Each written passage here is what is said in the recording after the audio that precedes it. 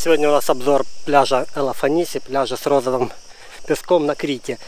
Мы приехали сюда на машине из Георгиополиса. Это где-то 120 километров на арендованной машине. Сейчас скинули машину на парковке там выше. Идем к пляжу.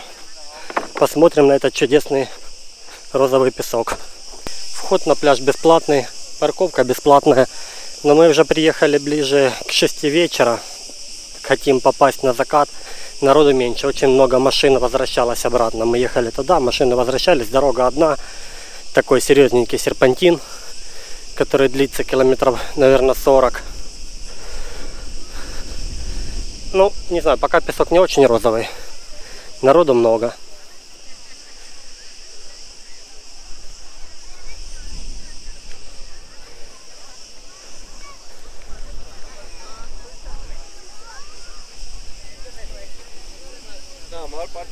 Песок действительно розовый, но только в воде, там где он мокрый.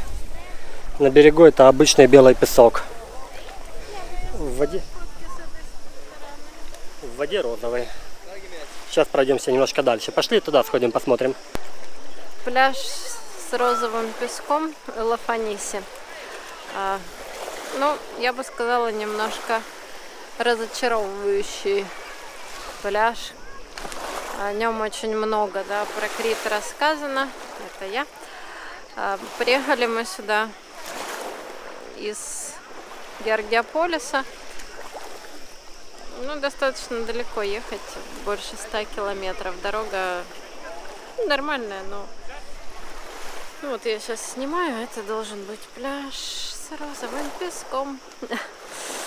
В общем, вот по этой линии, только где вода заворачивается, он немножко розовый. И сейчас мы уже вечером, чем ниже солнце, тем менее он розовым. То есть, возможно, если бы мы были утром, то он бы был более розовым. Но сам песок на пляже, там где сухой, он обычный. То есть вот кромка воды, которая подходит к берегу, она ну, отдает розовым цветом, в принципе. Но назвать это прям пляжем с розовым песком я бы не могла. Поэтому, если настраиваетесь увидеть полностью пляж, засыпанный розовым песком, то нет, это не оно. Пляж неплохой, можно арендовать зонтик, лежак, есть бесплатный душ, всякие кафешки. Ехать по дороге с серпантином, наверное, час то есть через остров.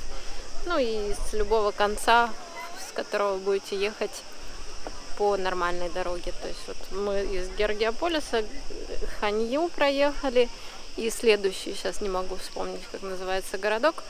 И, в общем, оттуда уже вглубь острова.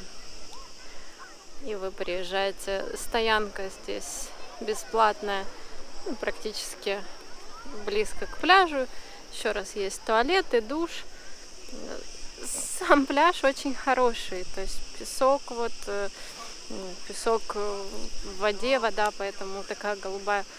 Но так как называют его пляжем с розовым песком, ты ожидаешь увидеть розовый песок, но не видишь. Как-то так. Если вам ехать будет не очень далеко, от того места, где вы проживаете, приехать сюда можно. Лучше, я думаю, утром. А, скорее всего, когда солнце светит сверху, он более розовый. Но если ехать вам очень далеко, а, то, наверное, это не... Мне больше понравился пляж а, с пальмовым озером, пальмовым лесом. Смотрите обзор у нас на канале. Вот, наверное, пока самый для меня топовый пляж это пляж с пальмами. Но, наверное, стоит посетить и пляж с розовым песком. Хотя он не совсем и розовый.